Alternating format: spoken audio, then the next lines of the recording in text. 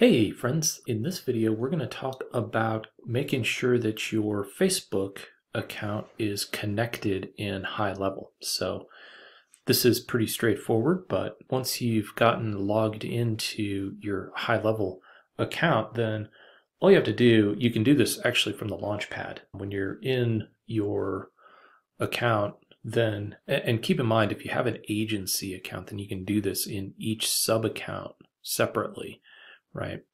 So if you don't have the agency account in high level, then I believe you can only connect your Facebook account once and connect with one page at a time. So keep that in mind.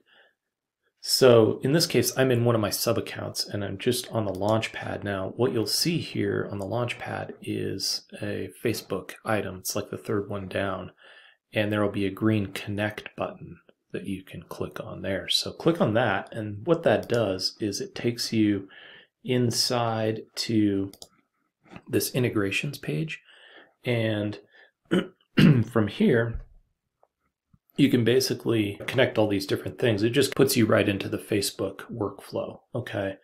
And so what I recommend is just before you do this, be signed into Facebook already, like in another tab so that when you connect, you don't really have to like sign in or anything. It's just gonna it's just gonna see it and then it's gonna ask you, oh, do you want to connect this account? And then you just say yes and connect. Now, the reason I'm making this video is because often what happens is as soon as you've done that connection, then it just kind of bounces you out and you think you're all set. And then later on, when you try to connect like your lead ads or something like that, it's like, it's not communicating with Facebook. And so there's a second step that you have to do. This may already have worked for you, but if not, then what you want to do is just make sure that you're connected to a business page. And that will show up right here above the change page button. And if you don't see anything there, then what you got to do is like click the button here.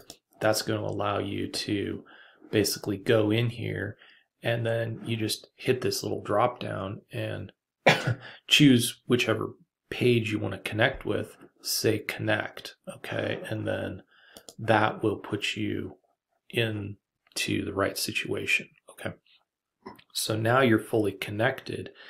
And then I've got another video where I talk about if you're running Facebook lead ads then you know, you might want to check that video out because I'll show you inside of the Facebook Business Manager how to make sure that Lead Connect, which is the software that sort of connects high level with Facebook, is set up in there in the integrations. So that's how you do everything. Once you get this done though, then you can basically start doing your social media from here and, and everything else. So that's how you connect your Facebook account the right way to your business page through Go High Level.